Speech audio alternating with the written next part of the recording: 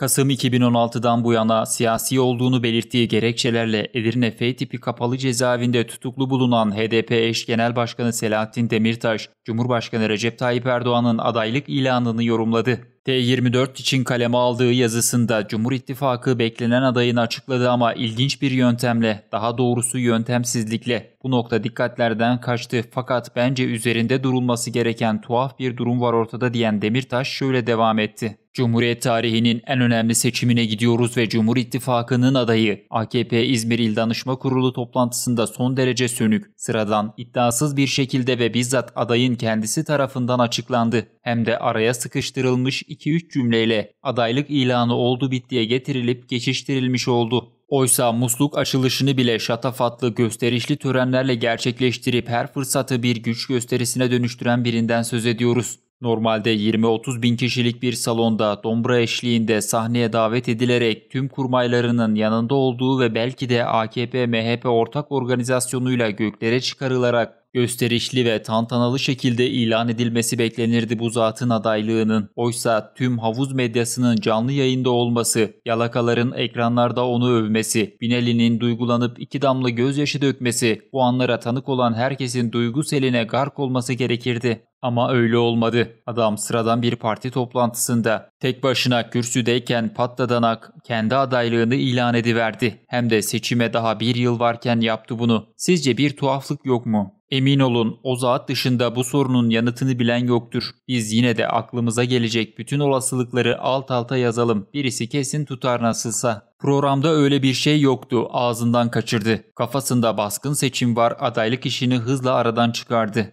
Üçüncü kez aday olamayacağı tartışmalarını şimdiden başlatıp mağduriyet devşirmeye hesapladı. Muhalefeti de kendi adayını açıklamaya zorlamak istedi ve almakta olan tabanını tutmaya çalışmak istedi. İsrafı sevmediği, gösterişten hoşlanmadığı için adaylık açıklamasının sade bir toplantıda mütevazi bir şekilde olmasını istedi. Yok, bu şıkkı hemen eleyebiliriz. Kasada para bitti. Dolayısıyla şatafatlı bir tören yapamadı. Sağdan soldan borç bulamadı. Eşinin altınlarını bozmak istemedi. Ele güne karşı ayıp olmasın diye de sade bir toplantıda mütevazi bir şekilde açıkladı adaylığını. Cumhur İttifakı'nın adayı Tayyip Erdoğan'dır dediği sırada Tayyip Erdoğan'ın kendisi olduğunun farkında değildi. İmkanlarını kendi şahsi çıkarları için kullanmayı istemedi. Pardon, bu Che Guevara'nın yaşam öyküsünden bir alıntıydı. Yanlışlıkla araya karışmış. Tek adam rejiminde olduğumuzdan memlekette kendisinin adaylığını açıklayabilecek ikinci bir kişi kalmadığını düşünerek kendi adaylığını kendisi ilan etti. Sonra da kendi kendisini tebrik etti.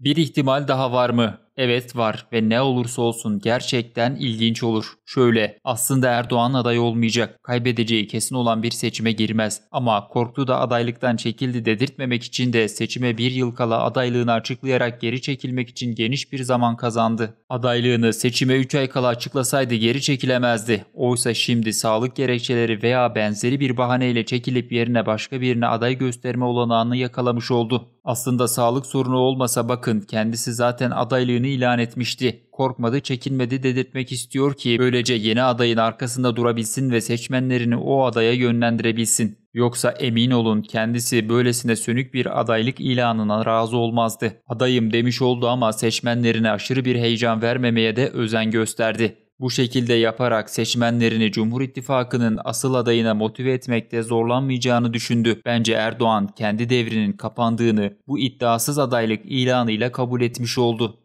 Bunu da merak etmeyelim bir zahmet. Bize ne? Kim olursa olsun nasılsa tarihi bir yenilgi yaşayacak garibim. Yenilgi deyince aklıma yine Binali geldi. Tüm yenilgileri ona yaşatıyor. Adam yenilgiden sorumlu devlet bakanı gibi. Korkarım yine ona yüklesin bu onurlu görevi. Neyse biz işimize bakalım. Kaldırılacak devasa bir enkaz, yeniden kurulması gereken harap halde bir memleket var ve başaracağımıza olan kararlılığımız, cesaretimiz, umudumuz var yüreğimizde.